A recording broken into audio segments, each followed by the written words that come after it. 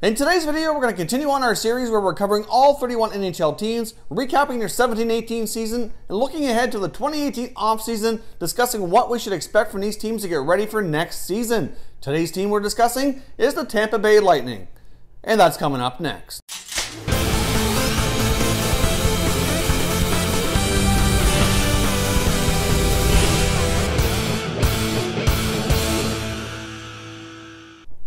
Everyone and welcome back to another video here at Top Shelf Hockey. If you're new to the channel, thanks for stopping by. We review and discuss all 31 NHL teams. So if you're a huge hockey fan, consider subscribing and clicking the bell so you don't miss anything. So as I mentioned off the top, today we're discussing the Tampa Bay Lightning. We're going to do a quick recap here their 17-18 season and look ahead as to what we should expect from this team heading into the offseason here to get ready for next season. Now, obviously, as we know, the Tampa Bay Lightning had a fantastic season, winning the Atlantic Division and one of the top teams in the NHL. They finished with a record of 54, 23, and 5 for 113 points. Unfortunately, they ended up coming up short in the playoffs. Uh, I'm sure their ultimate goal here was to get back to the Stanley Cup Finals and have a chance to bring the Stanley Cup home back to Tampa Bay. Uh, but they came up short in the conference finals against the Washington Capitals. Still an incredible season, nothing to be ashamed of, but I'm sure they would have been more pleased uh, making it a little bit further considering how this team is built. They're certainly built to win now, and their window is certainly open uh, for winning the Stanley Cup here for quite some time. So there's lots uh, to be optimistic about moving forward as well. They ended up scoring 290 goals for, which is an incredible feat. Uh, first in the NHL, so the top scoring NHL team this past year. They allowed 234 goals against, which puts them at 13th, uh, which is still not too shabby. Taking a quick look here at special teams, their power play was 23.9, which was third best in the NHL, so that was an excellent uh, result for sure. It certainly wasn't great for the uh, Lightning this year was the PK. The PK was 76.1%, which put them 28th best in the NHL, so that's certainly an area of focus moving forward, I'm sure, as well as their faceoffs. The faceoffs weren't that great. They finished with a, a faceoff winning percentage of 48.2, which is 27th best in the league. So obviously penalty killing and faceoffs were not their strength this past year. Um, I think they got by a lot on mainly on their offense. It saved them a lot of times. Uh, they obviously had pretty good defense. Their goals goals against were not bad at all. A lot of their goals against were certainly probably a result of not winning enough faceoffs and not having a very good PK. So we'll see how this team moves forward here, but certainly those are areas of focus uh, to get better for next year. Now let's jump into some of the individual results. There's all kinds of guys on this team that had fantastic seasons. Uh, so there's lots of bright spots, lots of players to be quite optimistic about moving forward. Obviously, Stamkos and Kucherov both had awesome years. Uh, we saw Nikita Kucherov put up a 100-point season, so that's fantastic. Uh, Steven Stamkos put up 86 points. Uh, he's become more of a playmaker more recently here and more than the sniper that he used to be, but he's been setting up Kucherov for a lot of goals. So either way, as long as the offense is still coming and the points are coming, there's really uh, nothing to be upset about there. But his uh, his player the player that Stamkos is has certainly changed a bit over the years. Brayden Point continued to impress, putting up 32 goals and over 60 points this year. He's certainly a fantastic uh, young player for the Tampa Bay Lightning, great two-way center.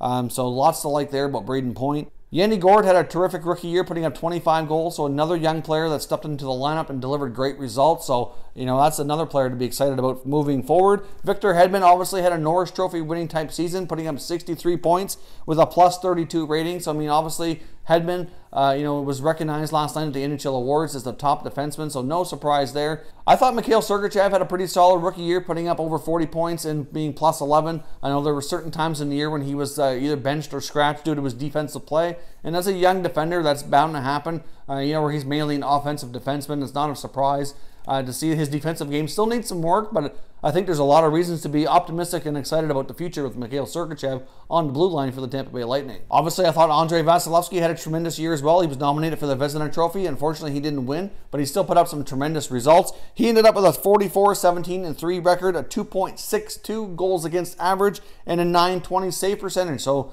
uh, Vasilevskiy had an excellent season for sure. Uh, there were times in the year where it looked like he might have suffered from a little bit of fatigue. Uh, probably would be wise for Tampa Bay to maybe look into getting a more solid backup. I really thought players like Ondrej Palat and Tyler Johnson can deliver a little bit more. Uh, they didn't really have bad years, but I just think they could do a little bit better. But if you look at the amount of offense this team put up, can you just imagine if they got more offense out of guys like Palat and Johnson? Obviously, they're quite often asked to have different assignments. They're not really uh, required to score a whole lot more than what they did. Uh, but I just, I just personally thought that their play declined a little bit offensively. That you know that's a minor area, but really considering how strong this team was to be honest, it was difficult to kind of find areas to kind of pick at for improvement.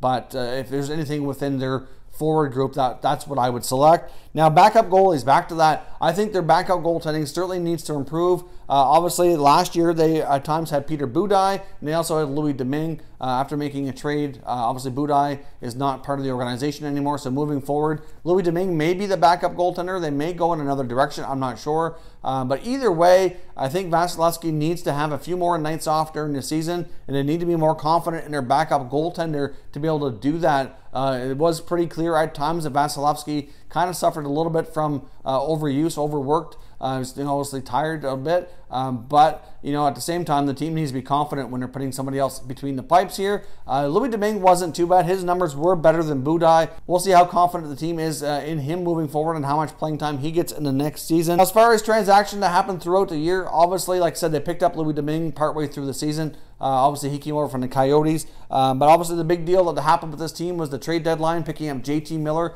and Ryan McDonagh from the New York Rangers in exchange for Vladimir Namestnikov and uh, prospect Brett Howden. So obviously, that was quite a significant deal. Uh, so we'll see. Obviously, McDonagh fit in well on the blue line, takes the pressure off Victor Hedman a little bit, having another um, you know top 4D with a lot of experience back there. So that certainly helps. Was a pretty good pickup, and Miller fit in quite well with the forward group. So overall, I'd say Yzerman did a fantastic job kind of molding this roster. Uh, so we'll see what he does this offseason if he feels like any tinkering need to be done. But we're going to jump in here to the offseason now. Uh, we're going to first, before we talk about trades or uh, players that they may be looking to obtain, let's first take a look at their contract situations. We don't have too many UFAs. They really have Chris Kunitz and, uh, and Sustr. They're the two they're the only two in a roster that are UFAs. Now, Chris Kunitz had a decent year for Tampa. Yeah, by the time next season rolls around, he'll be 39 years old. So there is a possibility Kunitz could retire. There's a possibility Tampa may opt not to sign him.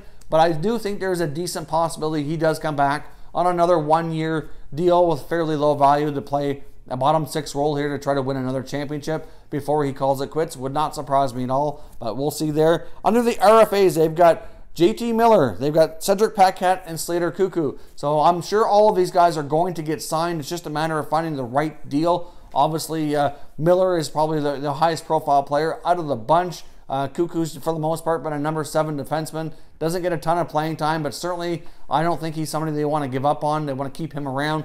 But obviously, they have a lot of decisions to make with their D corps moving forward here, uh, which we'll get into momentarily. But all those guys are certainly going to get contracts. It's just a matter of determining the uh, the proper value in term to get it locked up.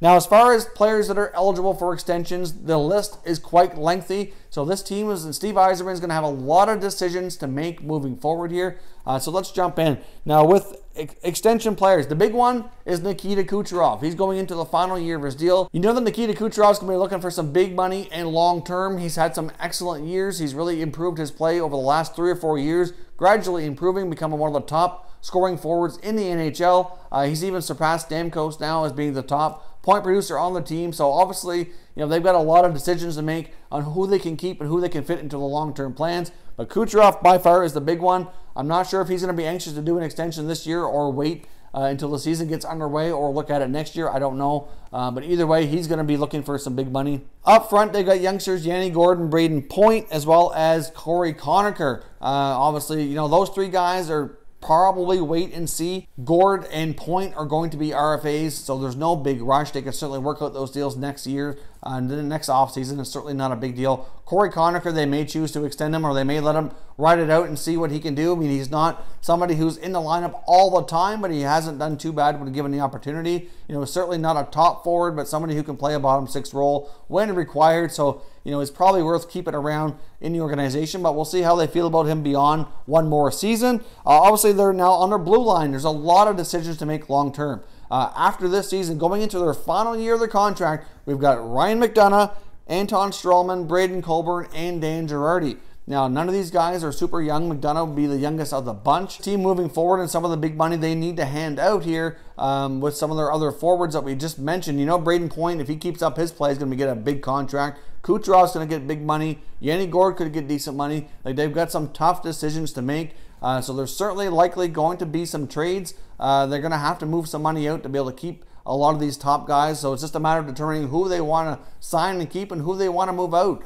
I mean, we had speculated before that some players like Tyler Johnson and Ondrej Palat might be their trade bait to try to move those contracts off the books to be able to make room for guys like Brayden Point and Nikita Kucherov's uh, big extensions. On the back end, obviously, uh, wouldn't be much of a surprise to see players like Coburn and Girardi be moved along. Uh, I don't see them being extended. I think more than likely they'll uh, they'll either move on to new teams or, or call or quits depending on where they're at in their careers and how they feel they can keep going or not. But uh, I think they'll be making room for some youth on that back end once those contracts come to an end. Ryan McDonagh wouldn't surprise me to see him be extended.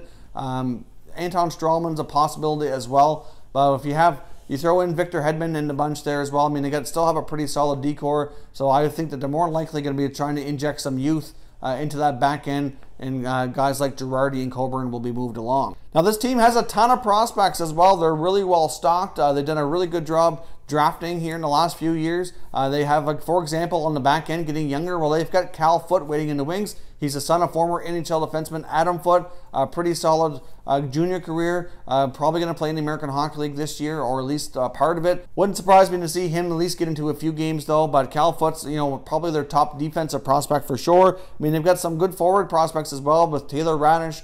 Uh, Boris Katchouk, Matthew Joseph still in there. I mean, Anthony Cirelli, you kind of still consider him to be a prospect, but he did get into a fair bit of games this year towards the end as well as into the playoffs. Uh, so Cirelli's likely making the big club full time next year. Wouldn't be a surprise. Uh, or if he's not, he'll probably be the top guy to call up. Obviously, depending on how they end up with their roster next year in spots, but he's one of the few guys who they could send down without going through waivers if need be. So uh, depends on how they fill out their roster, but Cirelli will certainly get a lot of playing time next year for sure. So they've got a ton of uh, ton of things they can do here. They've got some guys that could be trade bait, like I said, like a Johnson or a Palat. They could look to maybe maybe upgrade their backup goaltending, or they may hang with Louis Domingue.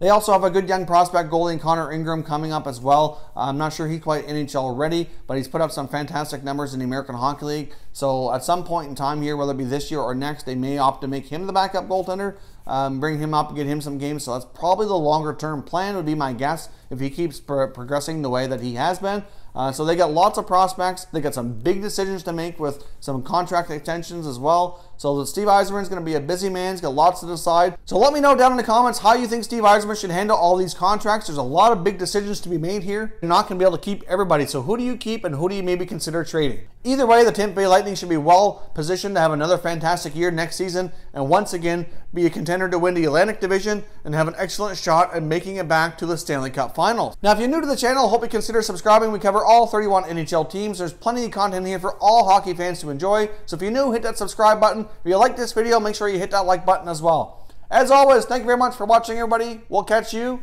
next time.